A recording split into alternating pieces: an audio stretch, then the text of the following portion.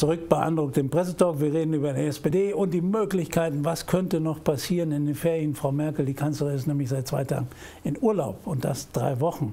Und wir sprechen darüber, was passieren könnte. In Italien braut sich was zusammen, in der Türkei braut sich auch was zusammen. Wenn dort die Schleusen aufgemacht werden von den Erdogan und sagt, drei Millionen Flüchtlinge habe ich, schicke mal zweimal mal wieder nordwärts gen Deutschland. Was haben wir denn? Dann ist vorbei mit der Ruhe. Also zunächst einmal ein Wort zum Urlaub der Bundeskanzlerin. Kein Bundeskanzler hat wirklich Urlaub. Er fährt irgendwo hin, hat vielleicht in Südtirol ein paar Wandertage, Frau Merkel mit ihrem Herrn Sauer, aber sie empfängt Besuche, sie telefoniert, es gibt viele informelle Gespräche, das ist bei jedem Regierungschef so. Außerdem ist sie, wie gesagt, äh, nicht weit weg. Also sie könnte sich jederzeit, wenn eine Krise käme, ein Anlass käme, dann äh, könnte sie sich jederzeit wieder ins Bundeskanzleramt begeben. Äh, es braut sich mit der Flüchtlingsfrage ganz sicher etwas zusammen. Italien wird nicht fertig damit und ähm, ich kann nur das sagen, was ich schon früher sagte, das ist wirklich ein europäisches Problem, nicht nur ein deutsches Problem. Und da ist es, wenn wir schon von Urlaub gesprochen haben, äh, in meinen Augen ein großes Ärgernis, wenn zum Beispiel der äh, Präsident des Europäischen Parlaments, Tajani, ähm, in einem Brief an Kommissionspräsident Juncker Wert darauf legt, dass jetzt Sommerferien sind und man möge keine Briefe verfassen. Ja, das heißt, in Brüssel da hatte ich den Eindruck schon im äh, Herbst 2015, als ich in Brüssel war, Höhepunkt der Flüchtlingslawine, ja, könnte man sagen. Und ähm, da hat man den Eindruck, die Leute haben nur Karriereplanung und Urlaubsplanung im Kopf. Man hat überhaupt nichts mitgekriegt, dass Brüssel betroffen ist von der Flüchtlingsfrage. Und das ist jetzt wieder und so. Und es ist jetzt noch immer so. Also man hat nicht die Verteilung der Flüchtlinge auf europäische Mitgliedstaaten hingekriegt. Das ist eine große Blamage. Man versteht auch zum Teil, warum manche Staaten so reagieren. Wir wissen ja, Merkel hat also ziemlich äh, schnell und ohne Absprachen mit Nachbarstaaten oder mit äh, Partnern, großen Partnern wie Frankreich, äh, die Grenzen damals geöffnet im Herbst 2015. Und natürlich sagen dann andere Staaten jetzt, das sind eure Flüchtlinge, warum sollte jetzt auf uns äh, aufgeteilt werden. Und ähm, also es ist ein deutsches Problem, aber es ist definitiv ein europäisches Problem. Und da kommt was auf uns zu und da muss Europa funktionieren. Brechen wir das mal runter. Könnte das der SPD helfen? Oder der CDU schaden? Ich meine, kommt er noch selber raus? Na gut, äh, die Kanzlerin steht momentan nicht nur für ein Höchstmaß an administrativer Rationalität in Europa, sie steht für die letzten vier Jahre auch für das größte Staatsversagen in der Geschichte. Administrative Rationalität, das ist ein schöner Satz. Äh, sie steht auch für das größte Politikversagen, wenn Robin Alexander recht hat, was, was er beschrieben hat. Äh, nein, es wird der SPD nicht nutzen, sondern es könnte eher sein, dass die schon am Boden fast zerschlagene AfD wieder dazu gewinnt. Die SPD wird deshalb nicht gewinnen und da kommen wir nun auf einen Punkt, den ich als Manko in dem Programm der SPD sehe. Das Thema Integration kommt dort so gut wie nicht vor.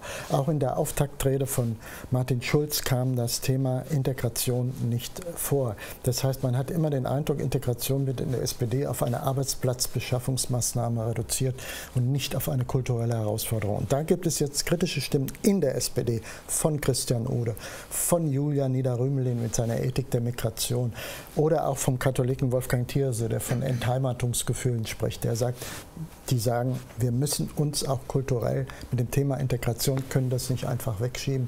Und da kommt dann in Klammern natürlich die Tipp dazu, diese ganze Problematik nicht, dass Frau Schwesig noch kurz bevor sie als Familienministerin ging, dann noch eine Millionentranche überwiesen hat, ohne dass wir jetzt in der Öffentlichkeit wissen, was eigentlich aus den Spitzelimamen geworden ist. Sind die nun angezeigt oder durch die Hintertür verschwunden? Also das ist ein Thema, wo die SPD gepackt werden kann und das sie anpacken müsste, damit das nicht geschieht. Und da höre ich nichts. Da habe ich auch in der Wahlkampfauftaktrede von äh, Martin Schulz nichts dazu gehört. Jetzt habe ich aber gelesen, in der CDU findet das so gut wie auch nicht statt. Die einzige Partei, die das angreift, ist die CSU, wenn auch auf eine sehr fragwürdige Weise, indem sie mit dem Schweinebraten, äh, der nicht verboten werden soll, auf den Speisegarten daherkommt. Das war auch so schön äh, in, in, der, in der FAZ am Freitag. Da haben sie Zitate genommen und sagten, wo steht das in AfD-Programm oder sonst wo? Nein, im Wahlprogramm der CSU. Das ist aber zum Beispiel gerade ein Beispiel, was Sie da ansprechen mit der Flüchtlingskrise, wo man sehr schön ablesen kann, wie Merkel äh, bestimmte Dinge handelt. Letztendlich äh, ist das, äh, die Flüchtlingskrise war, oder beziehungsweise der Umgang mit der Flüchtlingskrise war eigentlich ein riesiger Betriebsunfall von Merkel. Im Grunde genommen, sie hat die Grenzen geöffnet, obwohl sie es eigentlich gar nicht wollte. Und es gab, das ist ja auch unwidersprochen, die Befehle, die Grenzen zu schließen. Es hat aber keiner sich getraut, das zu machen. So dann hat Merkel zunächst mal den Anschein erweckt, als wäre sie eine wahnsinnig flüchtlingsfreundliche Person, die die Humanität in den Vordergrund stellt. Wenn man sich die Politik der Union seitdem anguckt, stellt man fest, dass die in der Sache eine radikale Wende erfahren hat. Die Flüchtlingspolitik der Union ist nicht mehr flüchtlingsfreundlich.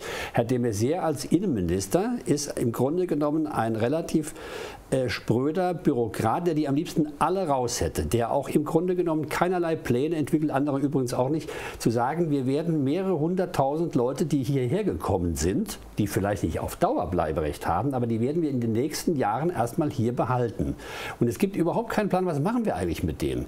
Wir reden irgendwie unbestimmt von einem Einwanderungsgesetz und glauben, dass wir uns irgendwann die Maurer und Installateure und Fachleute aus anderen Gebieten irgendwo in der Welt von den Bäumen pflücken können. Das ist alles Quatsch. Statt zu sagen, wir haben jetzt Leute hier, die sind unbeschäftigt, und unbeschäftigte Leute kommen oft auf dumme Ideen. Dem kann man aber wehren, indem man sie versucht zu integrieren, beruflich zu integrieren, auszubilden und, und, und. Das macht die Union gar nicht. Die SPD hat aber leider Gottes auch keine Pläne. Deswegen kommt es ja wahrscheinlich nicht ja, vor. Und deshalb Programm, ist der ne? Punkt, aber Merkel konnte das ich keinen Plan habe, kann ich auch nichts aufschreiben. Merkel konnte das wunderbar kaschieren, dass sie, sie hat immer noch den Nimbus der Flüchtlingskanzlerin, obwohl sie das eigentlich nicht ist. Und ansonsten muss man sagen, diese ganzen Afrikaner, die jetzt kommen, die Drecksarbeit nehmen uns, ich nenne das jetzt mal so, nehmen uns uns andere ab. Die Italiener, dann ist der Brenner davor, dann sind die Österreicher davor. Das heißt, wir sind hier schön im Grunde genommen von Ländern umgeben, die im, im Grunde genommen sich damit viel eher beschäftigen müssen als wir in Deutschland, weil wir geografisch sozusagen erst in zweiter oder dritter Reihe stehen. Und im Grunde genommen, wir können uns da irgendwie erstmal einen schlanken Fuß machen. Das ist nicht sehr schön, aber es stört auch anscheinend keinen. Aber, ich glaube, es, ja. es gibt noch einen Grund, warum äh, Martin Schulz Integration nicht aufgenommen hat. Ich glaube, der SPD ist in sich da sehr zerstritten. Es gibt also einen großen Flügel von flüchtlingsfreundlichen und integrationsfreundlichen Verhalten und andere fühlen sich äh, überfordert und äh, tendieren, solche Wählerbewegungen gibt es ja, tendieren dann eher zur AfD. Und äh, wenn Schulz sich da zu eindeutig positioniert hätte, hätte er den einen oder den anderen Teil der SPD verschreckt. Aber ich mache eine andere Beobachtung. Ich sehe, dass äh, eine Erosion im linksliberalen Wählerblock, und zwar zugunsten von Herrn Lindner und nicht zugunsten von der AfD. Mhm. Denn der hat sich ja in Sachen Integration ziemlich deutlich geäußert. Die FDP stellt in Nordrhein-Westfalen einen, einen Familienminister und Abschiebungsminister, wie der heißt. Also der hat gleich voll provoziert. Und äh, was der nun zur Integration sagt, äh, auch gegenüber den Linken, dass die nicht ewig die Integration nur auf, auf die soziale Frage reduzieren, sondern sich auch kulturell damit auseinandersetzen müssen, das ist, äh, glaube ich, schon äh, attraktiv für linksliberale Wähler, die zum Beispiel die Grünen nicht mehr wählen können wegen ihrer Willkommenseuphorie. Einspruch. Da habe ich Einspruch. Die, ich, glaube, äh, ich glaube schon eher, dass die AfD wieder stärker wird. Und zwar aus einem ganz einfachen Grunde. Die, man muss mal gucken, und das meine ich eben mit äh, Drecksarbeit. In Griechenland leben vielfach noch Flüchtlinge unter vollkommen menschenunwürdigen Bedingungen. Das hat zum einen damit zu tun, dass die Griechen sich nicht kümmern, zum zweiten, weil sie auch heillos überfordert sind. Ähnlich kann es den Italienern auch gehen, geht es ja zum Teil schon. Oder man äh, darf sich gar nicht ausmalen, was momentan ständig auf dem Mittelmeer passiert, wo ja viele ertrinken und wo sozusagen die Hilfsorganisationen, die dort aktiv werden, äh, sich im Grunde genommen inzwischen doch beschuldigen lassen müssen, dass sie gemeinsame Sachen mit den Schleusern machen. Mhm. Im Grunde genommen, wir versuchen uns das Problem ja möglichst weit wegzuhalten. Und die, gleichzeitig ist die Angst enorm da. Die FDP hat ja im Grunde genommen auch kein Interesse an diesen Flüchtlingen. Und die haben die was sie geschafft haben, sie sind nicht auf einen FTB-Kurs gegangen. Im Grunde genommen wollen die auch sozusagen die Leute möglichst weit fernhalten. Und sie halten sich bei diesem Thema einfach bedeckt, weil sie sagen, da sollen die anderen sich drum scheren. Wir stellen unsere schöne Ikone Lindner ins äh, Schaufenster, der im Grunde genommen ja oft genug wirkt wie so ein Model für irgendeine äh, schöne Modekette. Äh, das der aber auch seiner Meinung kein Hehl macht, dass er sagt, die Leute, die hier nicht hingehören, die sollen wieder weg. Genau. Ja, aber das ist aber auch nur blanke Theorie. Das ist, da redet er dann wirklich etwas, wo man das auch eher von der AfD kennt, die im Grunde genommen, wenn sie die hier nicht bleiben können, sollen wieder weg. Dann kann man sagen, was ist denn mit den Syrern? Die können einstweilen nicht weg. Was ist denn mit den Afghanen? Da ist es umstritten, ob die weg können. Im Grunde genommen, Afghanistan wird von allen, nur nicht von, von, dem, äh, von deutschen Stellen, als Land äh, gesehen, in dem eine, äh, eine maximale Unsicherheit herrscht. Nur wir tun immer noch so, als gäbe es da Flecken, in die man abschieben könnte. Das heißt, wir lügen uns da auch wieder in die Tasche. Ja, einige Bundesländer schieben ja auch nicht ab. Ja, sie, trau sie, trauen sich nicht. Aber im Grunde das ist eine Linie, die manchen hier gar nicht passt. Das wird ernstwahlen nicht so bleiben. Aber wir müssen einfach davon ausgehen, die werden wir gar nicht los. Die wird Herr Lindner auch nicht los.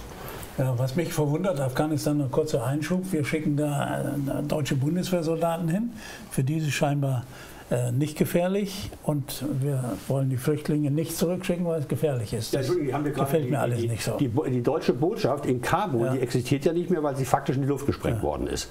Oder das von einem LKW, der draußen war. Wenn man sich die Anzahl der Todesopfer in Afghanistan ansieht, muss man sagen, die Behauptung, da sei es, äh, da gäbe es sichere Flecken, da kann ich sagen, da muss man aber schon sehr schräg gucken. Wir machen nochmal eine kleine Pause und dann wollen wir auch nochmal darüber reden, was passiert in der Türkei. Ob, das haben wir so ein bisschen jetzt beiseite geschoben. Was würde passieren, wenn die Erdogan sagt, okay, wenn ihr mich ärgert, ärgere ich euch auch und mach mal eben die Grenze wieder auf.